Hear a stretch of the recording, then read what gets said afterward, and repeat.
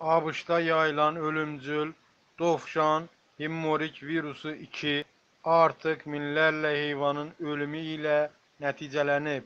Bu barədə Biznes Insider xəbər yayıb. Bəzi baytarlar bu xəstəliyi dovşan ebolası adlandırırlar.